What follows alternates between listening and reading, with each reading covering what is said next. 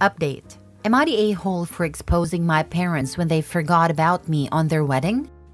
Original post I know this seems like a weird situation, but I just feel so angry and depressed that I feel the need to vent even if no one is listening. So, I 17 female was recently forgotten about on the day of my parents' wedding. My parents have been together for about 25 years, but they never actually got married. That's why when my dad, 50 male, proposed to my mother, 49 female, on their anniversary, which they have always celebrated on the date my mother found out she was pregnant with my eldest sister, even though they were already together before, everyone, including me, was elated and celebrated the occasion with great joy. This happened all the way back in February. They immediately jumped into wedding planning, deciding very early on a small event in Hawaii with just the closest family and friends for an intimate ceremony. Almost immediately, my mother asked my sister, 25 female, to be her maid of honor, and my dad asked my brother, 22 male, to be his groomsman. I wasn't surprised or offended by this. My sister had always been a mommy's girl, and they both enjoyed spending time with each other, shopping, and socializing, so they had a very close bond. The same goes for my father and brother. They always played football together and messed around with cars. My father even trained my brother's team for a while in middle school, Dad had always left me as the odd one out. I tried to insert myself in my family's hobbies and groups that they had within our home, but was always rebuffed. Maybe they could sense that my interest on their activities wasn't all that genuine, or maybe they just didn't care. Either way, I was used to being the last and least important member of my family. Mom had sis and dad had bro. My parents had each other, and my two siblings were closer to each other than they were ever to me leaving me very lonely and isolated in my own home. During the preparation for the wedding, initially it was suggested that I be the flower girl, but my sister thought that role would be more appropriate for a daughter of three female, so that idea was quickly tossed away. Later on, my maternal grandmother suggested that I might read a poem or do a little bit of speech during the ceremony. But both my parents refused because they wanted the wedding to be low key, and they didn't think a cheesy and sappy speech would fit their vision. Their literal words. I was still okay with all of this, even though it hurt to know I would be the only member of the family to not actually be part of the wedding party, or have any role at all on the day. As the day approached, my parents and siblings got more and more caught up on all the wedding planning. I noticed my mom didn't invite me dress shopping, and that whenever they would have discussions about the venue or the event, I was left out. So I decided to see if they would realize that I wasn't being involved at all and kept quiet, waiting for them to ask me something, anything, about the wedding. But that never happened. The wedding was set for three weeks ago, the end of August. The day before the departure, my mother casually asked if I had my luggage ready because we couldn't be late on the airport. I bluntly told her that I hadn't prepared anything. She got confused for a second and then snapped at me for not being prepared. I then asked if I even had a ticket, and her face went pale. Yep, they hadn't even bought me a ticket, and I'm not even sure if I had a room or any accommodations once there. Even though I was the only person in my family without a stable income, I work as a part time babysitter. My parents had bought first class tickets for my siblings and a couple other friends that were attending the wedding but had forgotten me. My mom told me not to make a big deal out of it and that they can just find me a low cost ticket last minute from a cheap airline. But I just replied by asking her, Then what? Do I even have a dress for the ceremony? She went with sister to buy hers and all the other female guests months ago, but I wasn't included. That's when my father came in and just told me to suck it up and that I've never been a girly girl, so I could just wear whatever. I got mad at this because even though I'm not the most feminine girl in the planet, I would have loved to be included in such an important part of my parents' wedding. And it was about the fact that I was excluded for literally everything that had been going on for months. We all got into a fight, with them calling me entitled and accusing me of making myself small intentionally so they would forget me. Like that is a valid excuse for ignoring a child. They ended up telling me that if I was going to keep this attitude, I might as well skip the whole thing together. To which I responded with a defiant, fine, and went to my room. Next morning, they all left for Hawaii without me. The ceremony was really small, but they all posted loads of pictures on Insta and Facebook about how perfect and magical that whole week was being. People realized quickly that I wasn't in any of the photos and asked my parents why, to which they replied that unfortunately I had caught COVID before the trip and had to stay behind. My blood boiled at this. I don't know why this was the straw that broke the camel's back for me, but it was.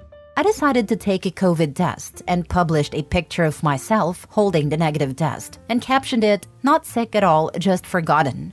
I tagged everyone that had questioned my absence from the trip and the wedding in the picture, and for good measure, also every person invited to it. I also wrote in the comments about how my parents had literally forgotten about anything to do with me until the day before parting, and how they actually uninvited me. Most people were on my side, and others couldn't believe it and thought there must be something more to the story than what I was saying. But one thing is for certain I completely ruined my parents' wedding, and their day was overshadowed by my confession. At first, I felt quite satisfied with myself for standing up on my own, but after a barrage of messages from my family, calling me every name in the book, and later when they came back, them furiously attacking me for my immature actions and my spoiled behavior, my pride deflated quickly, and I began to feel awful. I hate my family, and I hate being in this house but I'm a minor and can't leave just yet. I do feel like I could have handled the situation better though, and now I feel so depressed that I'm second guessing everything I did, from not speaking up before to the way I exposed them. I also feel guilty for the lack of connection between all of my family and me, and maybe I could have done more? Am I the a hole for ruining my parents' wedding when they forgot about me? Now for the top comments before reading the update. Not a hole. How could you have ruined a wedding they had exactly as they planned? You weren't invited, didn't attend, and didn't have any effect on the planning or details. Could Opie be an affair child? She is quite a few years younger than her siblings, and it would explain a lot. I am the now adult child of a narcissist. Some parents really do suck this hard, even if the child is 100% their bio kid. Not saying she isn't an affair child, but figuring that out at this point won't help anything. The parents are just mad that their neglect is now public, so they are trying to shame Opie into recanting her version of events. That, plus they want to punish her. Best of luck, Opie. You deserve better. I have a similar family dynamic to you, Opie, although I'm the oldest. I wasn't asked to go on family vacations. My birthday was always forgotten about. If my mom and younger siblings wanted to go out to eat for family dinner while I was at work, they would leave and not say a word to me. Not a hole. Don't let them make you feel guilty. As soon as I could, I moved out. Didn't say a word to anyone in my immediate family, just packed a bag and was gone. I'm no contact with everyone but my little sister, and even she's on probation with regards to visits and hanging out. I'm sorry for you and that we are on the same boat. I want to move out, but I have no place to go now. I had a summer job besides babysitting, and I've been saving up some money. But I live in a very expensive city and I need another job before I can plan anything. Be strong. Don't let them get under your skin. Even if you have to get roommates or move in with a friend, leave as soon as you're comfortable with finances. There are Facebook groups and such for looking for roommates, especially in high cost of living areas. I know that's what I should be doing. I do have a friend that is moving to a studio apartment near our college, but I don't have a job at the moment, and I don't want to be a burden to her. She and I are close, so I'm sure she would offer for me to move in with her, but I don't want to be a burden. Also, I don't have a job at the moment, so I couldn't pay rent. So that's something else I need to do at the moment. Now, for the update few days later. Hi everyone, I wanted to write an update earlier, but I'm still kind of a mess at the moment. But I figured since my post had such an overwhelming response, and so many people commented and sent me messages, that I should write about the latest developments.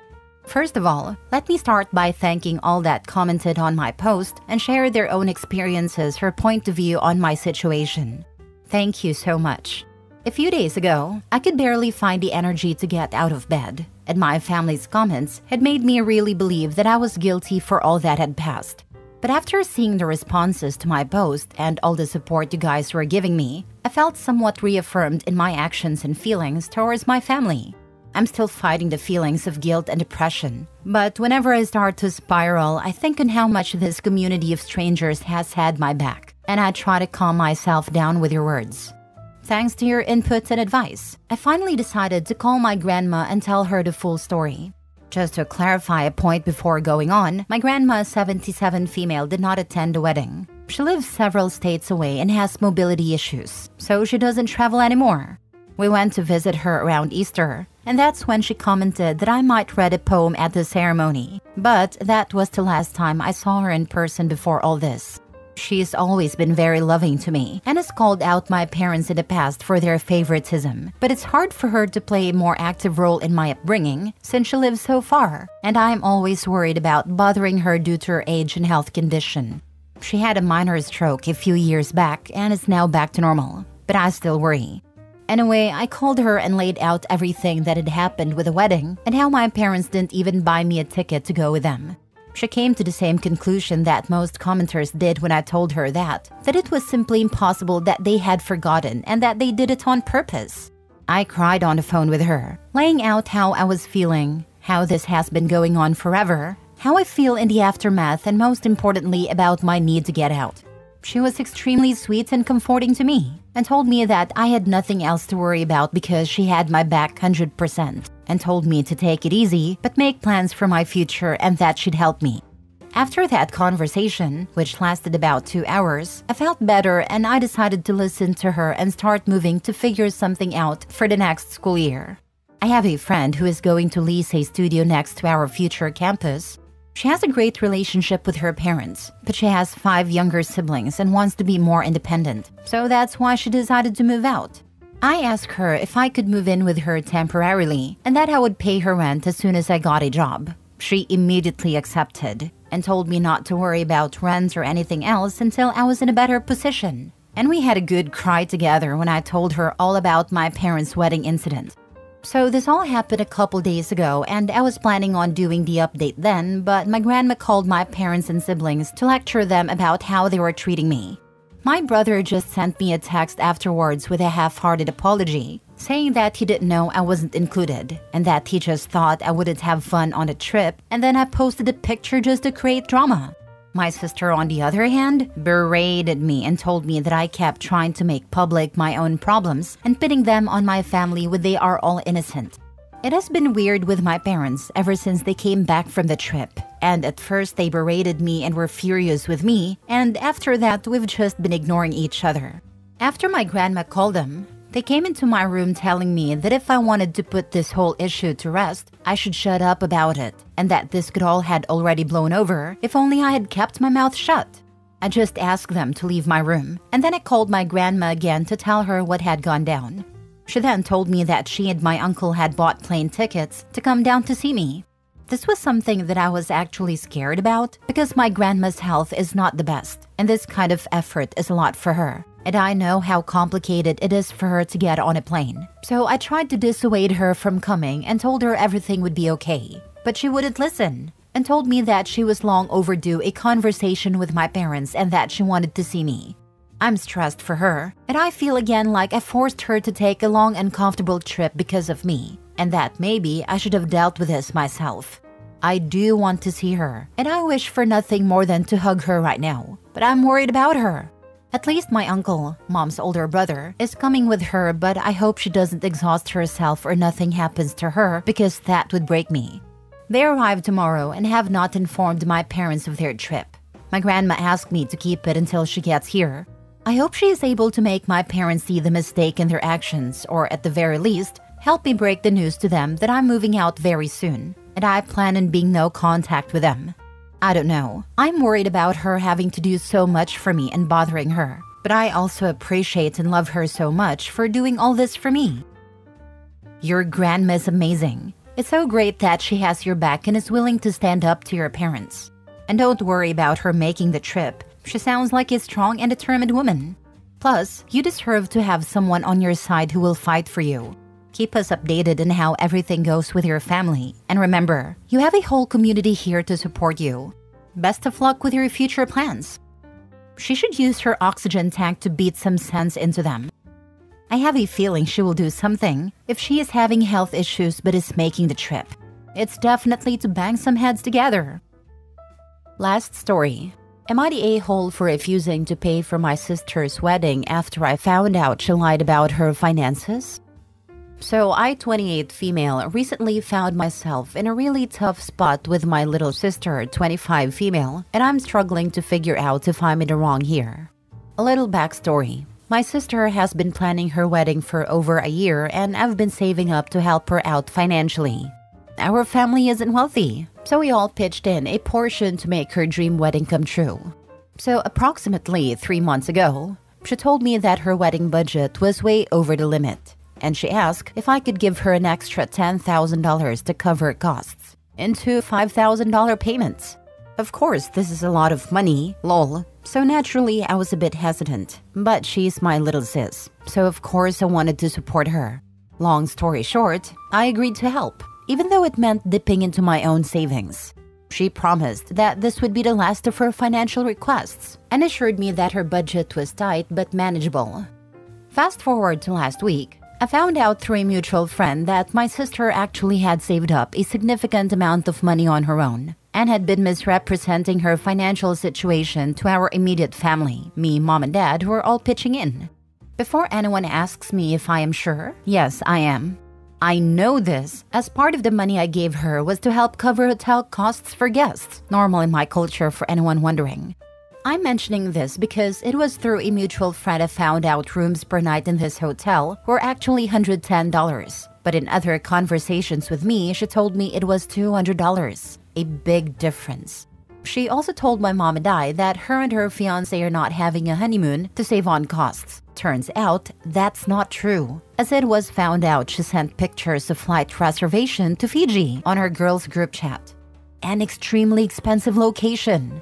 It is very clear her plan was to use the extra money to fund her lavish honeymoon and to splurge on some high end wedding accessories that weren't budgeted for. When I confronted her, she admitted to exaggerating the financial strain to get more money from me and others. I was obviously furious. I feel like she took advantage of my generosity, and now I'm rethinking whether I should still help with the remaining wedding costs. She's been begging me to reconsider, but I can't get over the betrayal. My family's divided. Some think I'm being too harsh and should just overlook it, as they are saying it's her wedding and it's not nice to ruin things last minute while my friends and husband agree that she crossed a line. I don't want to be the villain in this story, but I also can't shake the feeling that she needs to face the consequences of her actions. So, am I the a hole for refusing to pay the remaining $5,000 for my sister's wedding after discovering she lied about her finances? Now for the top comments. Not a hole. Your family is correct in saying it's her wedding and it's not nice to ruin things last minute. But you are not the one ruining things. It's her lies and her leeching. Why should you dip into your savings when it's not your wedding? Your savings have a purpose, and that does not include sponsoring a Fiji honeymoon. Also, divorce yourself from the attitude that she's little. She is a grown adult. What is her future husband paying for if you are all paying for the wedding and honeymoon? Cancel the honeymoon. I'm sure that's $5,000. Problem solved. Tell her you lied when you said you'd give her $10,000. You're exaggerating. Sister needs a sit down discussion. Make her explain to everyone how much money she hid. No one will give her anything more, and she will repay the value of what she hid to those who donated it. This is basically fraud. It is not something you let go. It's paying for a holiday, not surgery. She needs to give everyone a groveling apology.